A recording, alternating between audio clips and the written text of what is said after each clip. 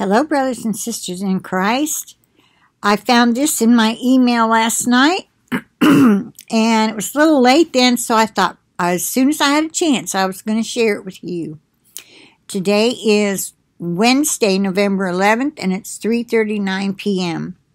All right, this is a a prophetic word from our Lord and Savior Jesus Christ from Julie Whedbee from Behold I Come is the name of her. It's I am calling you now dot blogspot.com. All right. Um, it was put up Saturday, November 7th of 2020, and the title is It Now Comes with Fury. Prepare accordingly. My kingdom will soon be realized. The plumb line is being laid, and as I have taught, you can only have one master. A nation divided cannot stand. It is now evident across the world the choice most have made, and where their allegiance lies. For them, a day of reckoning is at hand. Those who have sinned by the law will be judged by the law. He that rejects me and does not receive my words has one that judges him. My word will be the just judge.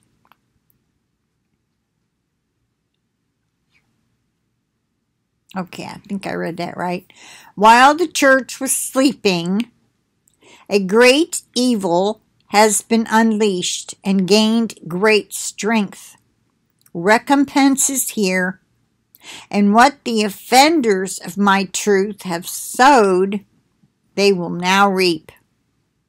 They who have sown injustice will reap calamity after calamity, and the rod they wield in fury will be broken.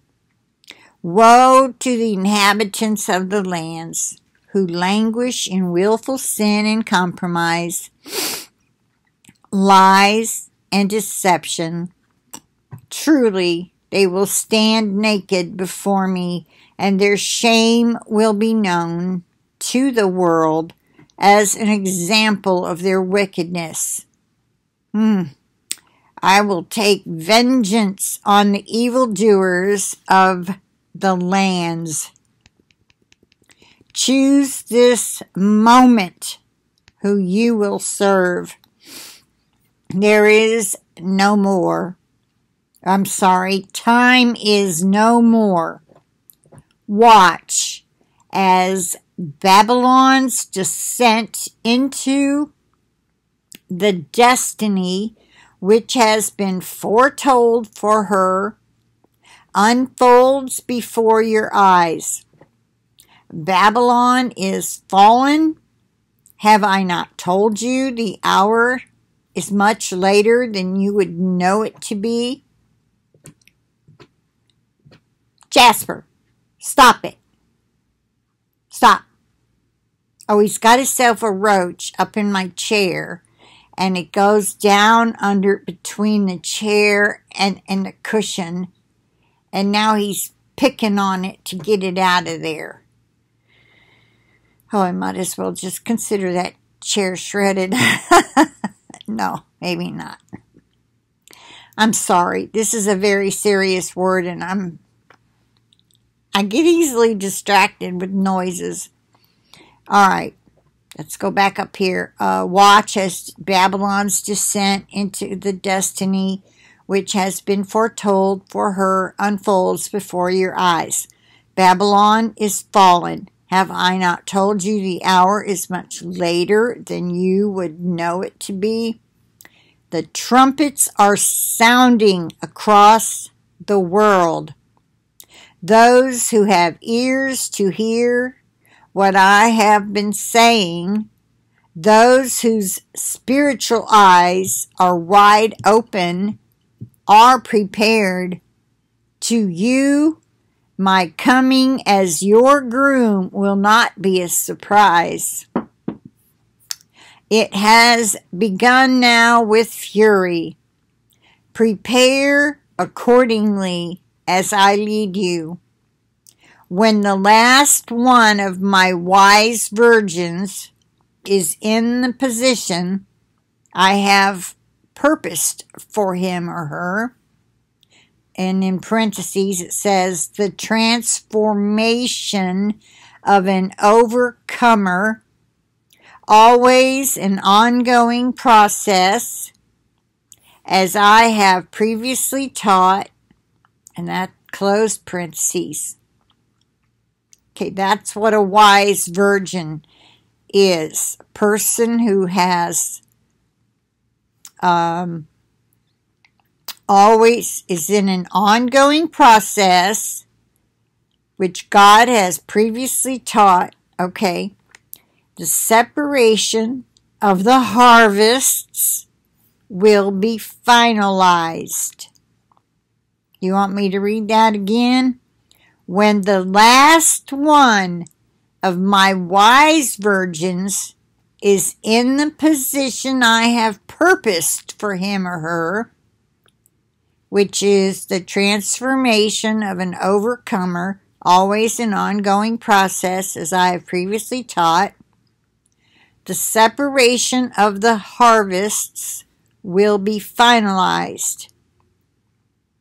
You, my first fruits remnant, will be the embodiment of my word, which is pure truth, operating under a new and powerful anointing of my spirit. You will walk in supernatural peace with great power and authority while the world plunges into chaos and further darkness. Do not doubt for a moment, however, that the great I am is in control as I bring down nations and raise them up. Watch and see what I am about to do. But to those who are not ready, it will be as a thief in the night, which comes in unaware to the owner of the house, there will be great shock at the sudden, unexpected transformation of the first group. To those who were not watching and waiting for their groom, they will soon realize it was a great mercy on my part, however, as I will allow an additional opportunity for a choice to be made for eternity with me for those who have not heeded all my previous warnings.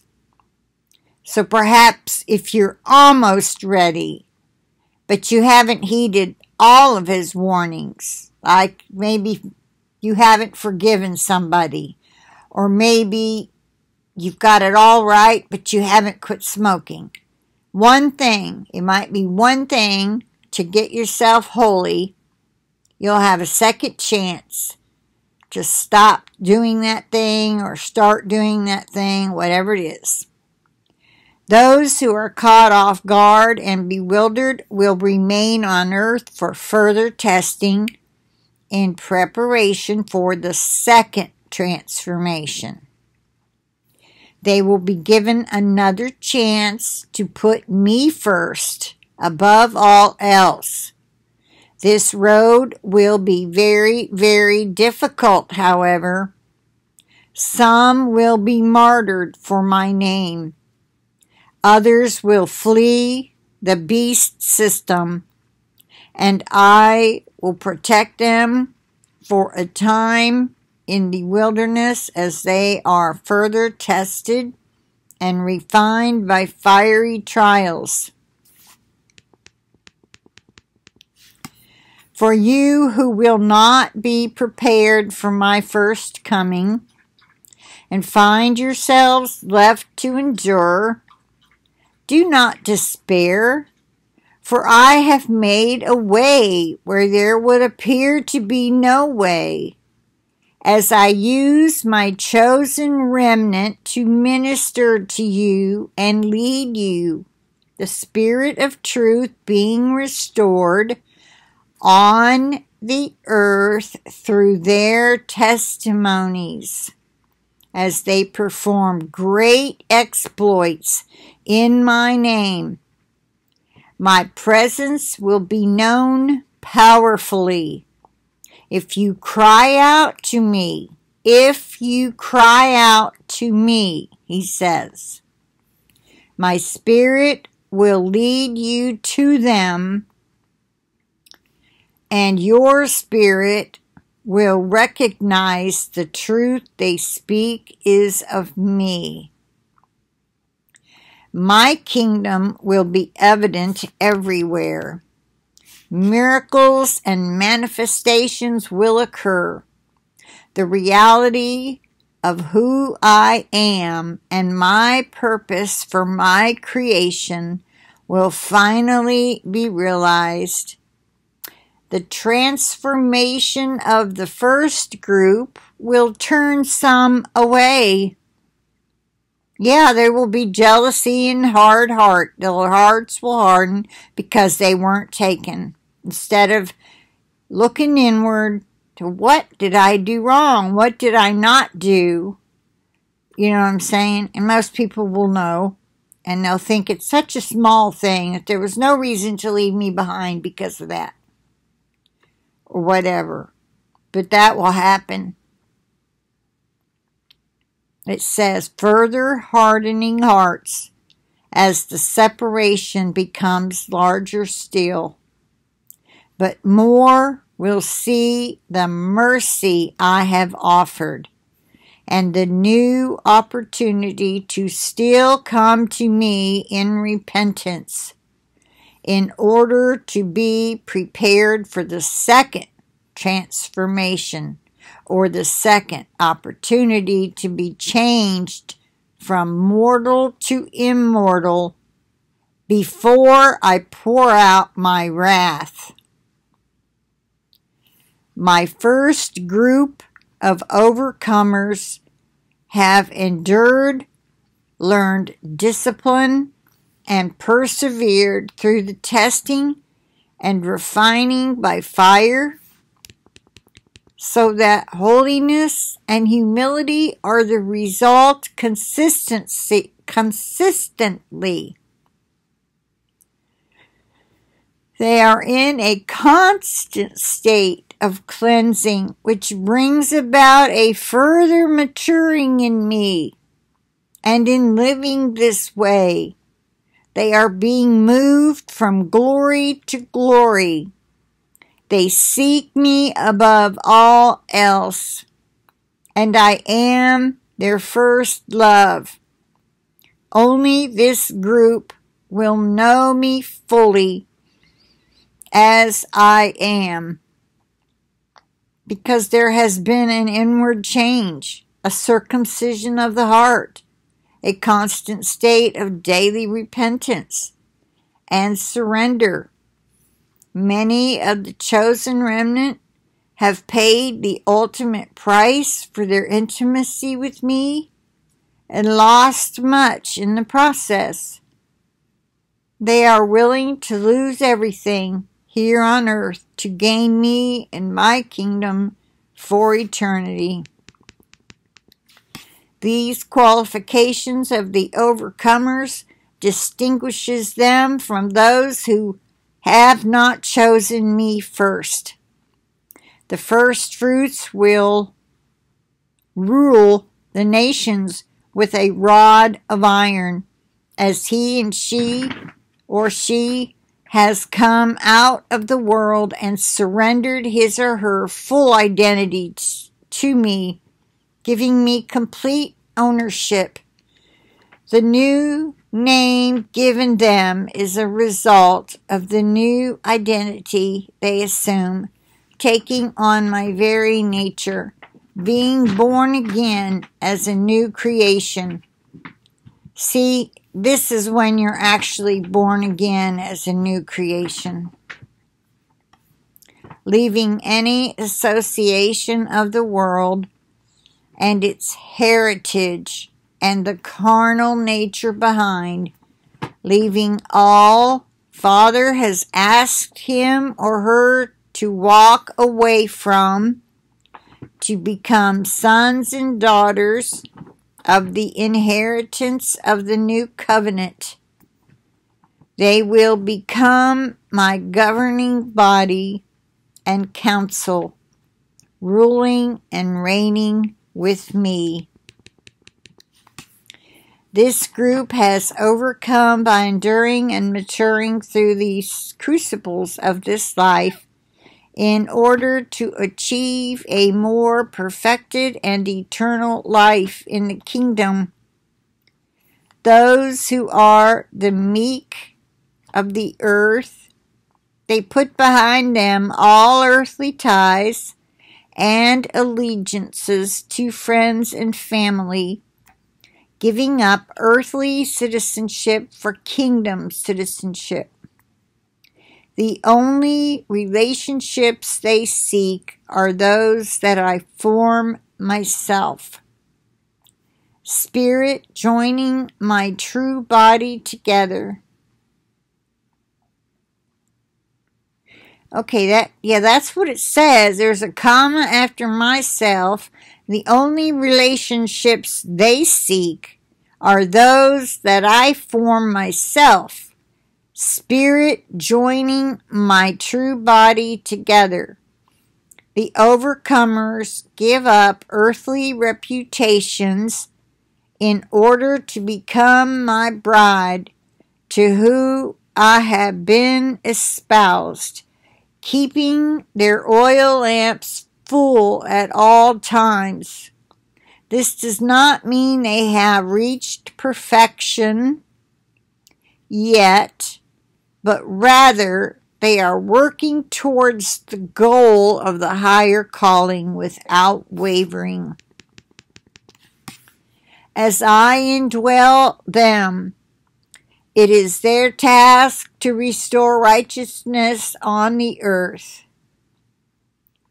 shattering the lies and delusions the church has been under for so long, having been separated out from man's traditions,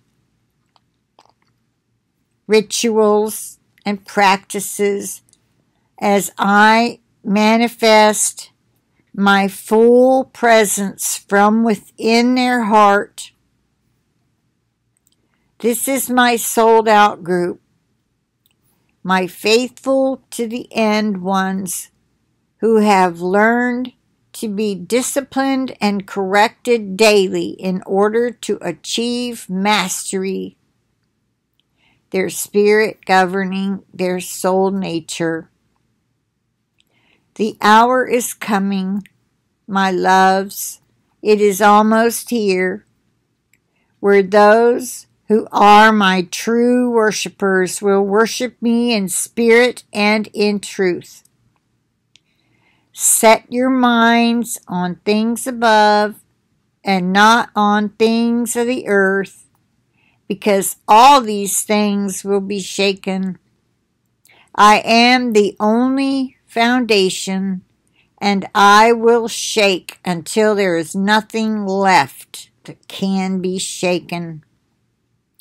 I am a consuming fire. Do you understand what I'm saying? There is no escape from what is now here except in me. Those who love their lives will lose them. Those who hate life in this world will have eternal life with me.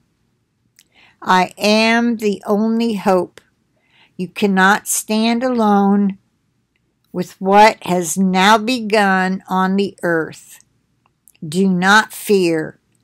Let wisdom be your guide. Keep my commandments and live. Stay off the path of the wicked. My people, listen to my words. Listen to what I am saying. Hold them deeply in your heart, for they are life. Keep your hearts pure. Watch what you see and what you hear, especially from now forward. Pray to be found worthy to escape all these things that which are come upon the earth.